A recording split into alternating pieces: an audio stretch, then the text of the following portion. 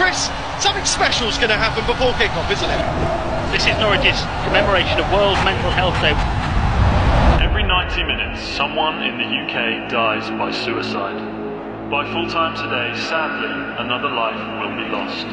Join us now for a minute's unsilenced on the referee's whistle, where we encourage you to start the conversation and check in with a fellow I supporter. sat next to you for 15 years. I didn't know your name. How you doing, sweetheart? You okay? I'm all right. Real nice to see you. The idea is to prompt conversation between supporters with the people sitting next to them. I agree, because a lot of people are too afraid to open up. Fans turning round and taking the opportunity to chat to each other. So, what's yours doing? I'm always happy to talk to anybody who wants to talk to me or to listen to anybody who wants to talk to me. Well, it's um, two years since I, uh, you know, uh, I'm glad I didn't. I've got a very good friend who's. Uh, I'm well enough, sorry. It's okay, man, take your time.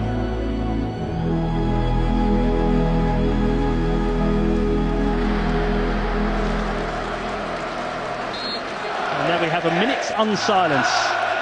A remarkable event at the start of a championship football match. Very, very powerful.